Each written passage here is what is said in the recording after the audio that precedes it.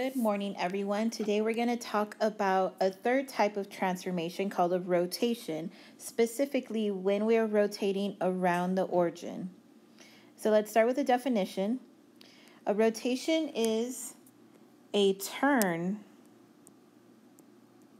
around a fixed point called the center of rotation.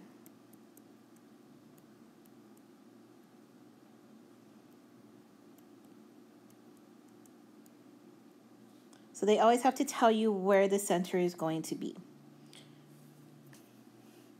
So the figure is going to rotate at a specific angle and direction. So for today, we're only going to talk about rotations that go around the origin, like the title suggests, so around the middle of your graph. And we're only going to be going counterclockwise. So counterclockwise means that we're going to be turning to the left.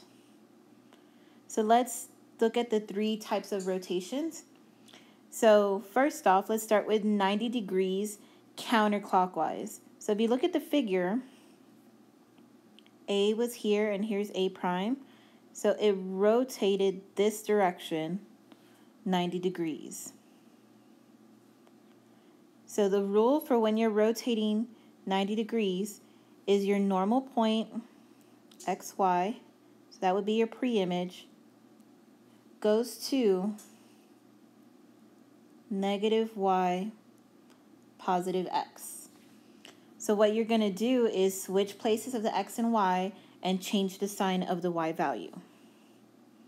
Okay, the next one, when you're going 180, Notice how I didn't put a direction on this one because no matter which direction you go, 180 degrees will always be the same. So here's A, here's A prime. So see how it went? The turn was a bigger turn. Okay, so for this one, the rule is if your pre-image is XY,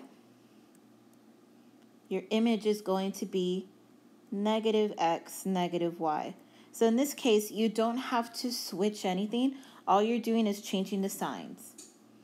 And then the third rotation is 270 degrees. So here's A, here's A prime. You're going almost all the way around, so even bigger turn. Your pre-image is XY, then your image would turn into Y negative X. So you'll notice that the rotations that we're talking about are all multiples of 90. It's because each quadrant in the graph is 90 degrees. So basically it's telling you how many quadrants we're rotating it around. So let's look at three examples. We're going to do one example of each degree. Okay, so the first one says, rotate the figure 90 degrees counterclockwise. So 90 degrees counterclockwise. Give the coordinates of the image. So looking at my notes from above, for 90 degrees, we're going to change it to negative y comma x. So I'm just going to write the rule here so I don't forget it. Negative y comma x. So I'm going to change each point from the pre-image to the new point in the image. Okay, so negative 2 comma 3 is going to turn into negative 3, negative 2. Notice how the 3 that was in the y spot is now the first number. So see that. But we had to make it negative. So since here it was positive, now it's negative. The x value was already negative, so we're going to leave it that way. Okay, the next point, we're going to do the same thing. So 0 comma negative 2. And the third point for C prime, negative 2, negative 4. So now that I have all three points, I want to graph it in the graph above. So A prime, negative 3, negative 2.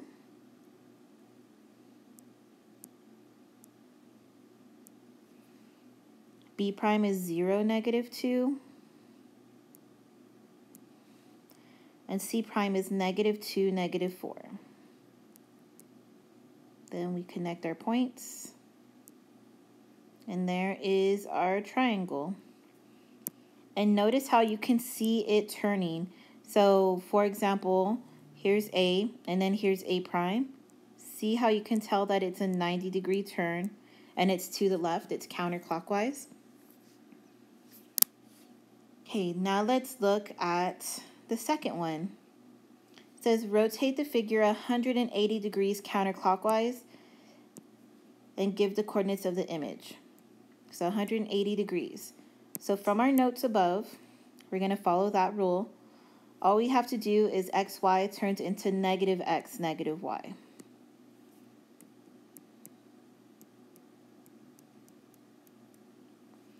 So we're not switching anything. All we're doing is changing the sign. So negative 2, positive 3 is going to turn into positive 2, negative 3. Next one is going to be positive 2, negative 0, but there's no such thing, so just 0. And the last one is positive 4, negative 2. So let's go up here and draw our figure. So 2, negative 3. Is our A prime.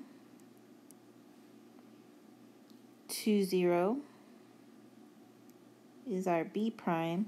And 4, negative 2 is our C prime. So connect our points. And there's our image. And again, I always like to kind of double check and look at the letters to make sure it did what I needed it to do. So here's A, here's A prime it made a rotation 180 degrees. Okay, and the third example, rotate the figure 270 degrees counterclockwise.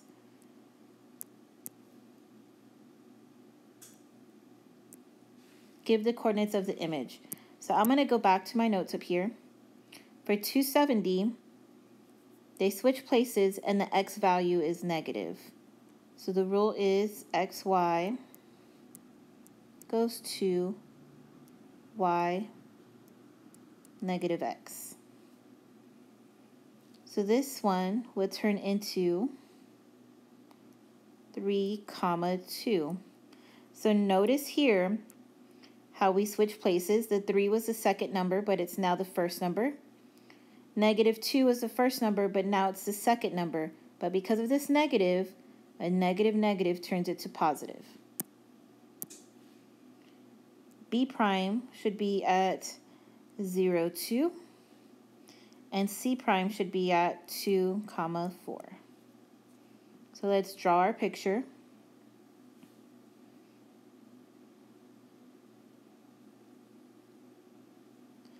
That is our A prime. 0, 2, here is our B prime. And 2, 4, our C prime.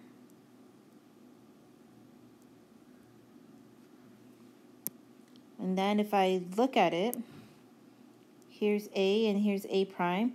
So this time I went all the way around to do 270. Okay guys, so with rotations, these are honestly out of the transformations that we're doing, these are probably the hardest ones to do because they're the hardest to picture in your mind. That's why I would rather just stick with these rules. These rules are super important to remember. If you don't think you can remember them, make sure you have them written down somewhere because I'm assigning a few problems for you guys to do over rotations. If you have any questions, you can email me or send me a comment through Google Classroom.